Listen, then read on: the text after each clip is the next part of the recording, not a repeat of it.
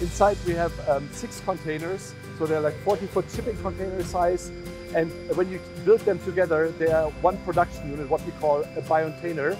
That's one module where, we, where you can produce mRNA vaccines in. We worked together with the African Union and the African CDC some time ago in the middle of 2021 when we said like we need to bring mRNA production to Africa.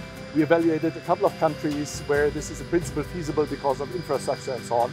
And um, uh, while we are building a network um, in Africa and we are talking with Senegal and South Africa, Rwanda, we decided to be the first country as a pioneer country to start. Yeah? We, we, we broke ground already, we're building the hall.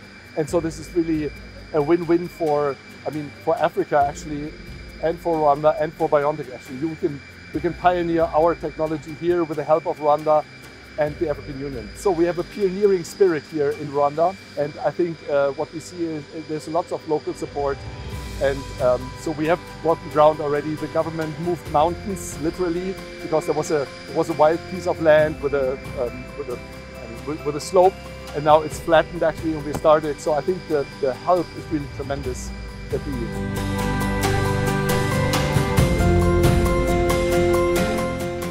kugira ngo twaherukaga hano mu tariki ya gatatu z'ukwezi kwa gatatu ibihumbi bibiri na makumyabiri na rimwe ubwo twakiraga inkingo eh, zakorewe mu eh, mu bindi bihugu ariko zakozwe na BioNTech ifatanyije na Pfizer. Eh, uyu munsi turi hano eh, noneho twakira ibigize uruganda. Uruganda rugendanwa rwimutse noneho rugiye gukorera inkingo zitandukanye hano mu Rwanda. Ni ikintu gikomeye kigaragaza uruhare rwa- rw'igihugu cyacu eh, kuzana cyangwa gukorana n'abashakashatsi eh, kugira ngo ibyagaragara ko bidashoboka ku isi bibe byashoboka hano ku mugabane wacu wa Afurika Eh, navuga ko ni nabwo bwa mbere ikintu nk'iki uruganda nk'uru nguru rukora inkingo zishingiye kuri mRNA rugeze kuri uyu mugabane wacu wa Afurika rugiye gukora inkingo zitandukanye.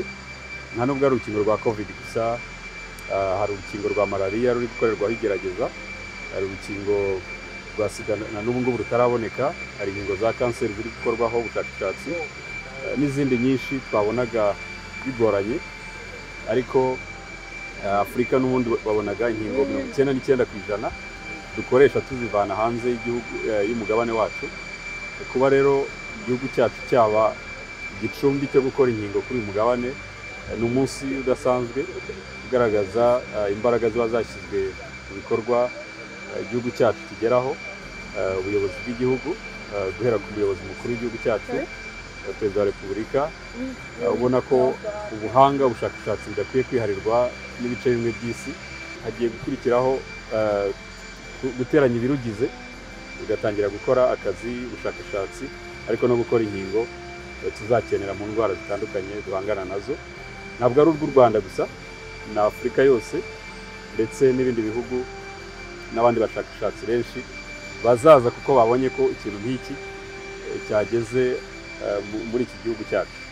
Hari ibindi bikoresho biri mu nzira bizagenda biza biruherekeza ariko iby'ingenzi biri gukurwa muri iyi ndege mubona ahangaha inyuma yacu eh, ni byo by'ibanze biri bukore igice kimwe cy'urwo ruganda.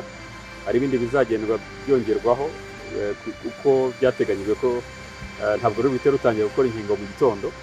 Birumvikana hari n'abakozi barukoramo hari abari mu rwanda bahageze ariko hari n'abandi bari mu nzira eh, ku buryo hari n'abanyarwanda batangiye kwiga nabo hari abari kugenda bamenya ibikoresho n'ibikorwa muri muri ubu buhanga bushya bwo gukora inkingo ariko n'imiti.